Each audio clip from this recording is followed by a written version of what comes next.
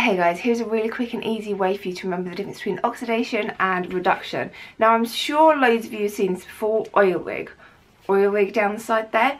Oxidation is loss of electrons, reduction is gain of electrons. I'm going to be using this um, in all the videos that I do about electrolysis, about reduction and oxidation, but some of you might not have seen this before, so oil rig. Oxidation is loss of electrons, reduction is gain of electrons.